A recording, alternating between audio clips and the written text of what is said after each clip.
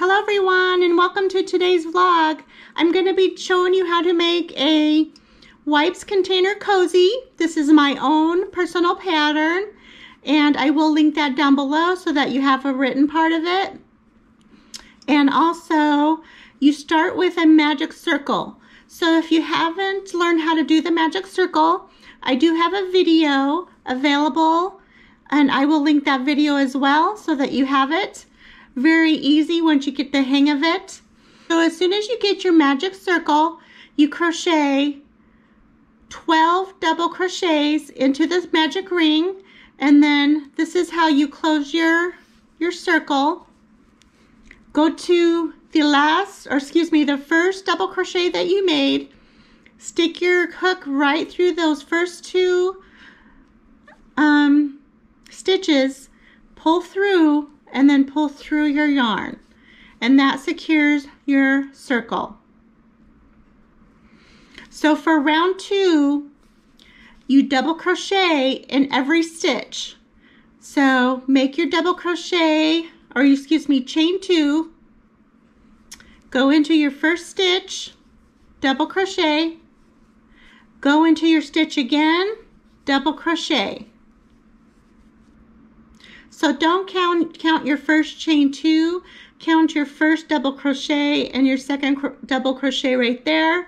And then go ahead and go through and do the same on every stitch, two double crochets in every stitch. Once you get this completed, I will meet you at the end.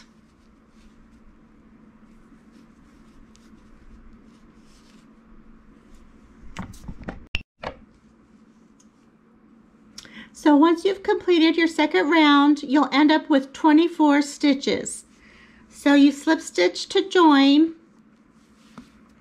this round. Again, go to the first double crochet, stick your hook through those first top two stitches, grab your yarn, pull through. So that you're, you're slip stitching that round closed. Okay, so round three, is you're going to double crochet in your first stitch, then single crochet in the next, double crochet in the next stitch, single crochet in the next. So that's the pattern of round three. I'll kind of show you a few stitches. So you want to chain two, go in the first stitch, double crochet twice, because you're not counting that first chain two. Then you want a single crochet in the next stitch. And then you want to double again in the third. And then you want a single crochet in the fourth. So that's the pattern of round three. I will meet you at the end and we'll join it together.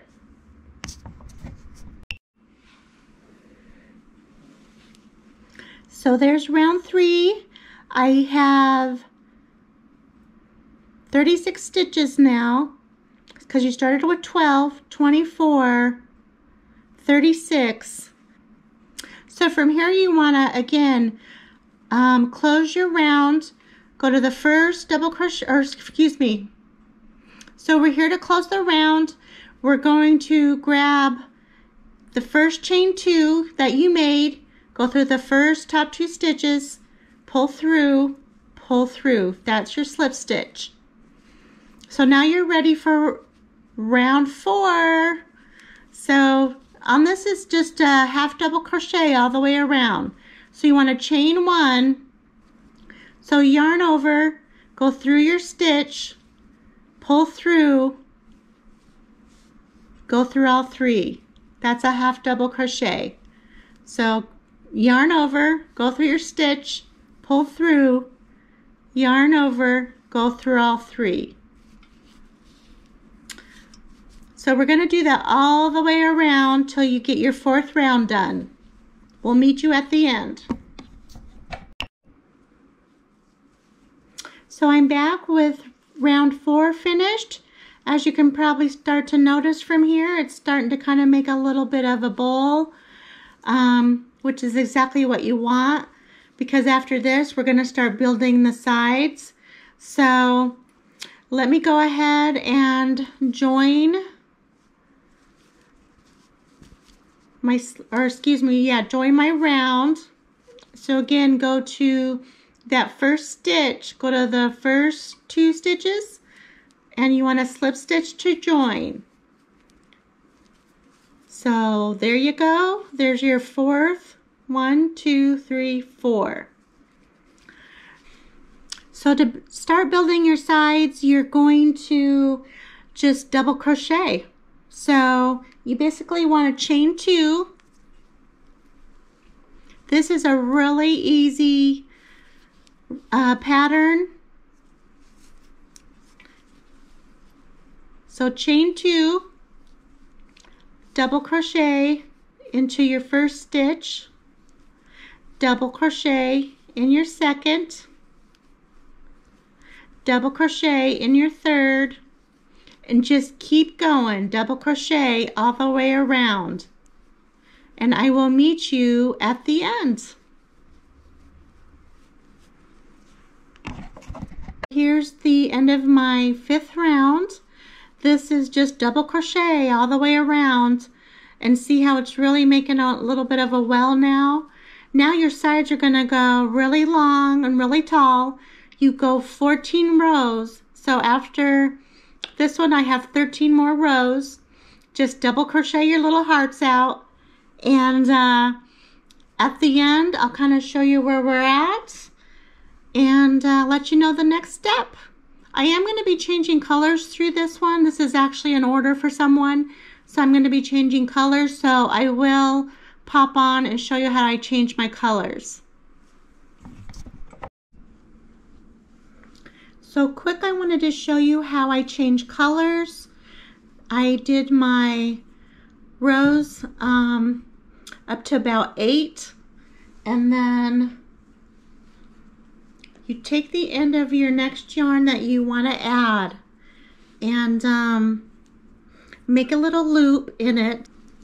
So to close the yarn and to add a new color, you want to go ahead and grab your new color and make a little loop in it like this. And then you want to finish your stitch like you're going to finish this the round. Go ahead and go into the top of the first chain two, grab your new color, pull it through, and then pull it through the loop. And that starts your new yarn. So kind of pull the back yarn tight a little bit and then start crocheting with the new color. So from here, chain two,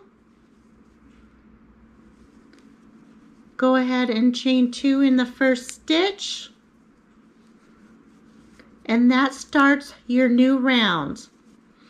From back here, I usually leave these just hang for a little bit until I kind of get around and then you can snip off the old color that you are using. So just keep going. And I'm going to be doing three rows of my new color.